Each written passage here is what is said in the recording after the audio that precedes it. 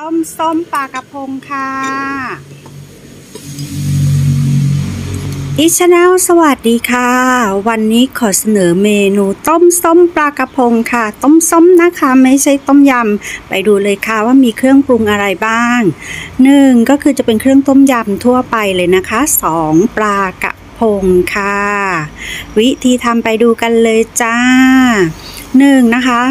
เอาน้ำใส่หม้อแล้วก็ใส่เครื่องอต้มยำลงไปพร้อมกับมะขามเปียกเลยนะคะ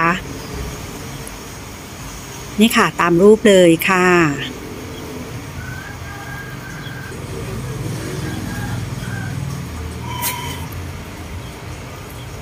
อันนี้ถ่ายรูปปลากระพงให้ดูนะคะ ว่าน่าทานมากเลย เนื่องจากปลากระพงแช่แข็งไว้นะคะ ออกมาเราก็ต้องรอให้ละลายนิดนึงแล้วก็เราจะมีส่วนผสมเพิ่มก็คือจะมีเห็ดนะคะ แล้วก็ต้นหอมผักชีค่ะค่ะ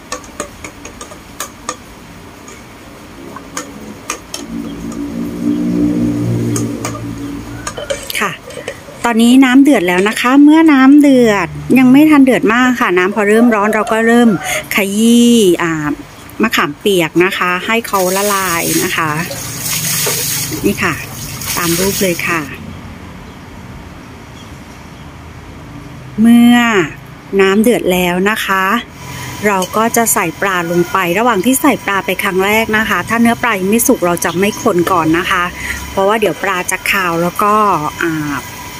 ปลาจะเละนะคะ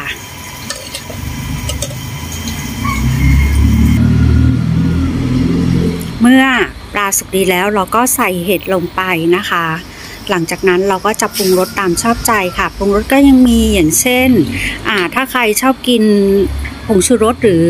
อ่าผงปรุงรสก็ใส่ลงไปนะคะ ใส่น้ำปลาใส่ซอสฝาเขียวตามรสตามชอบนะคะ แต่เราจะไม่ใส่มะนาวนะคะ ในเมนูนี้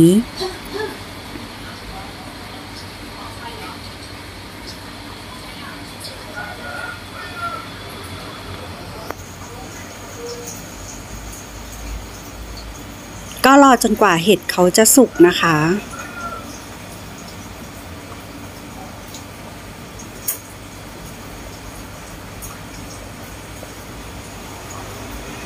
น่าทานไหมคะ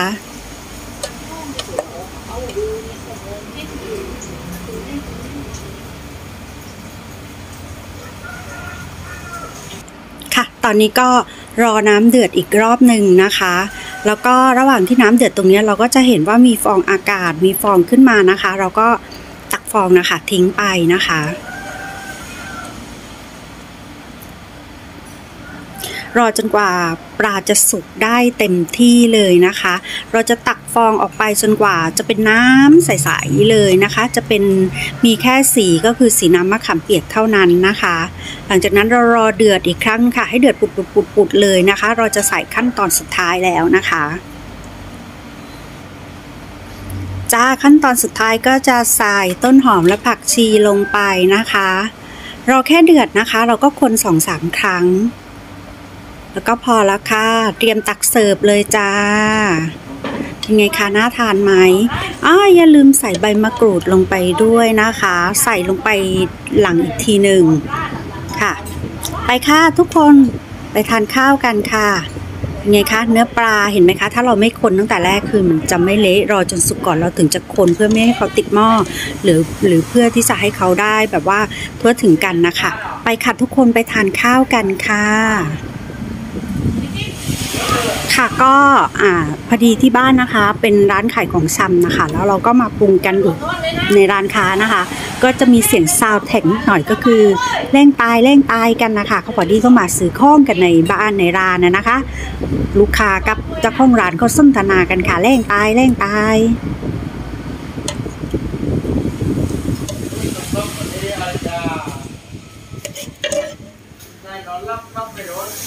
มส้มปลากระพงค่ะ มาค่ะทุกคนมาทานข้าวกันค่ะ ขอบคุณทุกท่านที่เข้ามารับฟังรับชมในวันนี้นะคะ หากผิดพลาดประการใดขออภัยด้วยนะคะ แล้วก็เป็นเมนูที่เราทำทานกันง่าย ๆ ค่ะ ก็เลยจะไม่มีแพทเทิร์นหรืออะไรที่ถูกต้องหรือที่ผิดนะคะ ขอบคุณทุกท่านที่เข้ามารับฟังรับชมอีกครั้งค่ะ